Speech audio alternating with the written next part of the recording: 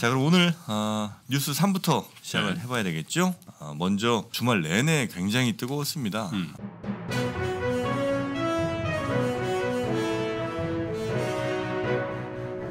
지소미아 조건부로 유예 발표를 22일에 이제 했고 23일에 이제 일본에서 조금 불쾌한 보도들이 많이 쏟아졌고요. 음. 또 어제 그래서 우리 측에서도 굉장히 불쾌감을 좀 많이 드러내지 않았습니까? 네. 아, 이거 지금 뭐 어떻게 지금 이거 정리해야 될까요? 글쎄 이제 그 양국 간의 어떤 모종의 이 막전 막후에서 합의가 없었다면 이제 그런 우리 정부의 발표가 있을 가능성이 없죠. 그렇잖아요. 뭔가 얘기는 당연하죠. 있었을 텐데. 근데 이렇게 있었는데 야, 근데 일본의 아베도 그렇고 일본의 그 공무원이라는 사람들도 그렇고 참 아니 6시에 발표를 하기로 했으면은 네. 6시에 정확하게 해야지. 6시 7분 8분에 발표를 뜩한거 보니까 한국어 보누고 내용도 완전히 다르다는 거 아니야 이게 원래 원래 얘기했던 거하고 그리고 아베라는 사람은 주한미군 철수 압박을 미국이 해서 한국이 어쩔 수 없이 했다 뭐 이런 취지로 얘기를 했고 네.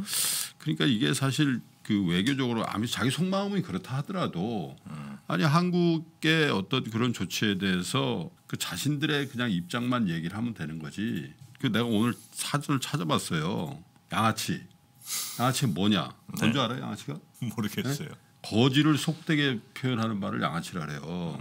그리고 품행이 천박하고 못된 짓을 일삼는 사람을 속되게 양아치라 그러는데 에, 물론 이제 우리 정부 입장에서도 그러면 단 1초라도 저기 일본에서 먼저 발표를 하게 하든지 아니면 동시에 뭔가 하기로 했으면 그걸 지키게끔 하는 외교적인 어떤 세련미 같은 거 많이 떨어졌다.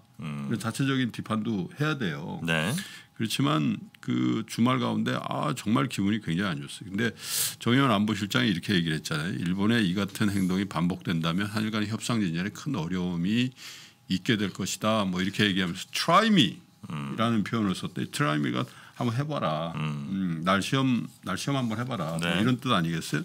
이런 정도로 이제 얘기가 나오는 것 자체가 이제 한일 간의 어떤 에, 이 지소미아를 둘러싼 그리고 에, 일본의 수출 규제를 둘러싼 양국 간의 현안을 그래도 네. 그래도 좀 풀어보자라고 어 이제 하고 있는 판인데 이래가지고 이게 될까 이런 생각이 많이 들어요. 그리고 어쨌든 경산성의 발표 부분은 상당히 이 양국 간에 합의된 내용과 다르다라는 게 이제 문제인데 뭐냐면 WTO 제소를 중단했기 때문에 우리가 협상에 나선다. 국장부 협상을 하기로 했다고 이제 나온 거 아니에요. 네. 그런 전제를 달지 않았다는 거죠. 그러니까 음. 우- 니네는 협상장에 나오는 걸로 하고 우리는 WTO 대소 절차를 중단한다. 이렇게 합의가 됐는데 그걸 전제로 해서 우리가 협상장에 나온다. 이런 얘기를 한다는 거는 양국 간에 합의된 내용과 굉장히 많이 다르다 이런 거고요. 이제 일본의 아베 총 아베가 얘기한 거는 미국이 매우 강경했기 때문에 한국이 물러선 것이다. 이렇게 말했다는 거 아니에요. 네네. 근데 이거는 사실 외교적으로 할 수 있는 말이 아니란 말이에요. 예.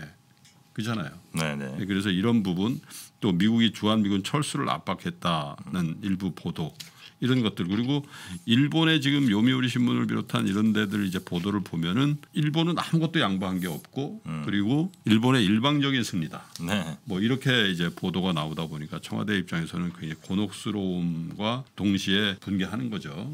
그래서 이제 에, 정용 그 안보실장이 어제 이제 부산에까지 가가지고 부산에서 이제 긴급 기자회견을 하고 그렇게 하면서 이걸 이런 것들은 일방적인 양보라는 비판 때문에 이제 일본 언론에서는 한국에서 이렇게 강하게 나오는 것 같다 이렇게 얘기했는데 청와대에서 이제 일본 정부의 이런 태도를 견강부에다 이렇게 표현을 하고 있다는 거예요. 근데 어쨌든 그 주말 가운데 아마 우리 국민들도 그렇고 저도 그렇고 생각이 굉장히 복잡해지더라고. 네.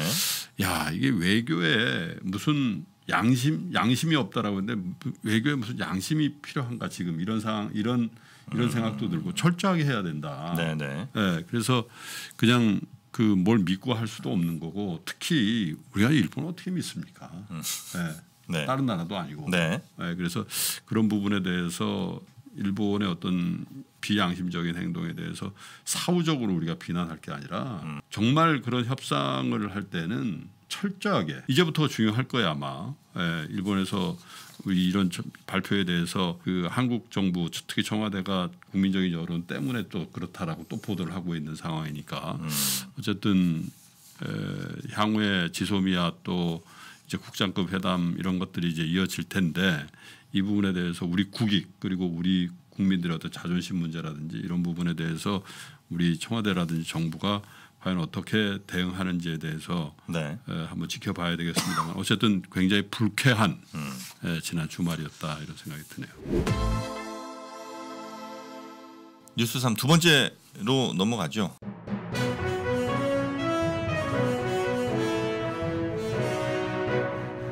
아, 반도체와 디스플레이가 굉장히 우려가 많았었는데 한일 간 뭐 이런 문제들로 인해서 근데 상당히 또 잘 버텨준 모양입니다. 그래서 생산에 차질이 거의 없었다 이런 소식이 좀 있던데요. 산업부에서 집계를 해- 산업통상자원부가 업계 이렇게 조사를 해보니까 이제 세계 소재에 대해서 수출 규제를 했잖아요. 근데 실질적으로 생산 차질 결과론적이냐 물론 과정에야 뭐 그런 차질이 없었겠어요. 그렇지만 예, 최종적인 물량의 결과 이렇게 보니까 생산 차질에 준 악영향은 하나도 없었다 이렇게 발표를 했어요. 이제 이게 예를 들면 정부의 그 기민한 노력, 예를 산업통상자원부도 사실상 그 제가 최근에 어떤 미팅도 해보고 거기 그 산하 단체 같은 데서 긴밀하게 움직임, 뭐 업계와의 이런 소통 이런 것들 하는 건 인정을 하는데 업계가 자발적으로 열심히 했다라고 볼 수 있어요. 네. 예, 그 예를 들면 뭐 재계에서도 수입 다변화를 위해서 해외 굉장히 이제 많은 노력들을 기울여서 실제로 생산 차질이 예, 전혀 없었다. 3분기와 4분기에 반도체 디스플레이 쪽에 우리가 뭐 이것 때문에 수출을 못 한다든지 생산을 못 한 적은 없었다. 이런 발표를 했고 익명을 요구한 한 정부 관계자는 어떤 측면에서 일본에 고맙다고 말해야 될 정도다. 이게 이제 뭐 반어 반어법이긴 하지만은 실제로 주의를 환기시켜서 네. 우리 국내 부품 소재 장비 업체 소부장이라고 요즘 표현을 많이 합니다만 네. 그 업체들의 어떤 경쟁력 강화를 위한 범정부 차원에서의 어떤 지원이라든지 또 재벌 기업의 어떤 그 전향적인 어떤 태도의 변화 이런 것들이 이끌어낸 거는 예, 소부장 산업의 어떤 미래를 위해서 굉장히 그 자극제가 됐다라는 측면에서 굉장히 고무적인 측면도 있다라는 얘기인데 정말로 앞으로 앞, 앞서 말씀드린 한일 간의 관계에 관계없이도 이 소부장 산업이 발전할 수 있는가에 대해서는 아직도 숙제가 많이 남아 있고 또, 또 예를 들면 관심을 둬야 될 게 국장급 대화를 한다든지 뭐 해서 일본에서 뭐 철회를 한다든지 이렇게 됐을 때또 네. 이런 우리 국내 소재 산업을 발전시키기 위한 노력 같은 것들이 또 느슨해지면 안 된다 이거죠.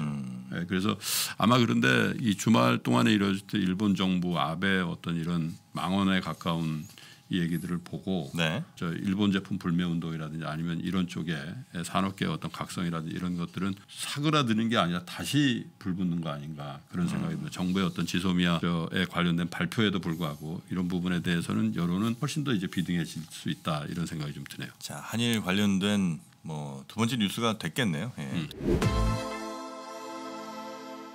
세 번째 오늘 뉴스 3 뉴스는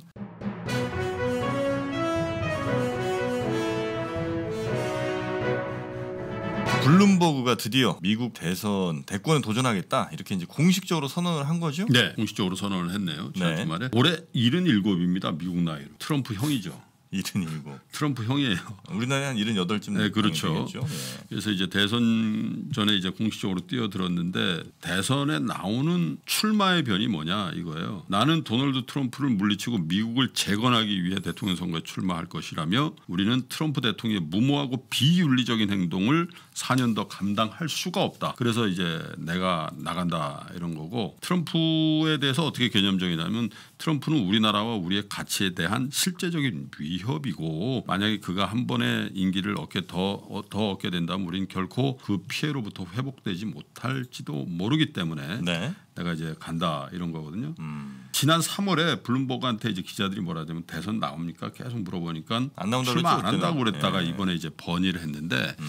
사실은 치- 이 블룸버그 뭐예요? 블룸버그 전 뉴욕시장인데 뉴욕시장 할 때 평이 괜찮았어요. 음. 일부 이제 좀 무리가 있었죠. 왜냐하면 불심 검문이라 이런 거 강화하면서 아. 흑인이라든지 뭐 흑- 히스패닉에 대한 특별. 그러니까 백인 우월주의 아니냐 뭐 이런 약간의 이제 논란이 있었음에도 불구하고 음. 비교적 그그 뉴욕 시장의 어떤 그 재임 기간 동안에 평이 좋았단 말이에요. 그래서 뉴욕이라는 게 뭐 사실 굉장히 한계치지만은 미국의 상징적인 도시 아니겠어요. 그걸 잘 매니지했다는 측면에서 대선 제목으로 계속 주목을 받았는데 이 블룸버그가 보면은 태생적으로 보면 이 동구 유럽의 부모들이 아마도 이제 양친이 다 부모가 유태인 게 그 피를 이어받은 대통령이 되는 건 아마 제 기억엔 처음인 것 같은데 네. 이름에 BERG 그러니까 버그가 붙으면 대부분 유태계 아, 아, 그렇죠. 그 얘기 들었었잖아요, 네, 그죠? BRG.